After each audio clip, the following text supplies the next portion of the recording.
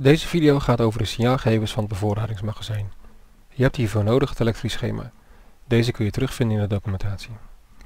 We gaan op zoek naar de namen van de twee eindstandmelders en de naam van de lichtsensor. Beide heb je nodig voor de besturing van het bevoorradingsmagazijn. Wat we met name willen weten is op welke ingangen de signaalgevers zijn aangesloten.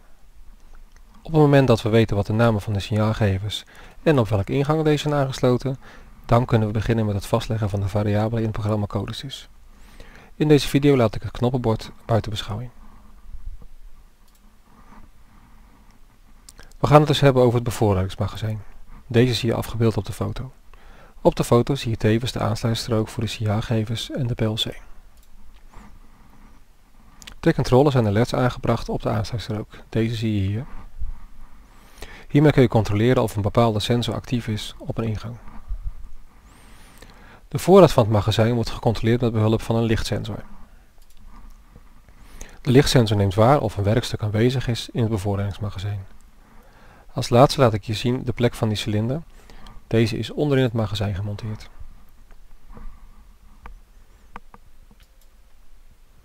Voor je zie je nu het elektrisch schema.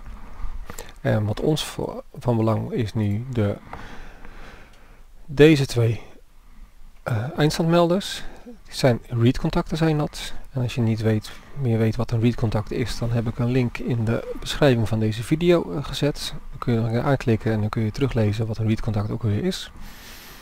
Dus het gaat om deze en die.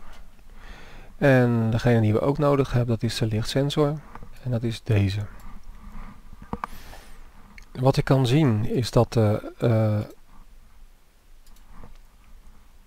dat dit eerste contact keurig aangesloten is op de 24 volt. Ik kan zien dat die keurig aangesloten is op de 0 volt. En ik kan zien dat deze eindstandmelder keurig aangesloten is op ingang 1 van de klemmenstrook. En dit, dit is van belang voor ons. Dus aangesloten op ingang 1. De tweede eindstandmelder, die zie je hier. Uh, die gaan we ook even controleren. Die is ook aangesloten op de 24 volt. Deze is aangesloten ook op de 0 volt, dus dat klopt ook. En we zien dat die aangesloten is op ingang 2. Dan gaan we nog even kijken naar de lichtsensor. Weer 24 volt aangesloten. Weer op de 0 volt aangesloten. Ga even controleren op welke ingang die aangesloten is. De volgende lijn naar beneden en die is op ingang 6 aangesloten.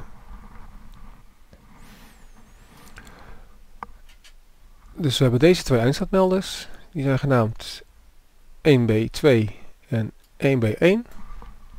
Ik heb hier de lichtsensor en die is genaamd B4, dus die zou ik terug moeten kunnen lezen. Ik heb gezien dat 1B2 aangesloten is op ingang 1. Eindstandsmelder 1B1 die is aangesloten op ingang 2. En de lichtsensor B4 is aangesloten op ingang 6. En op het moment dat je bij de machine zelf staat, zou je kunnen controleren dat ingang 0, dat is deze, dat die niet aangesloten is. En dat klopt ook, met het elektrisch schema staat hier niks getekend. Dus ik denk dat je nu voldoende informatie hebt om verder te gaan uh, met je opdracht.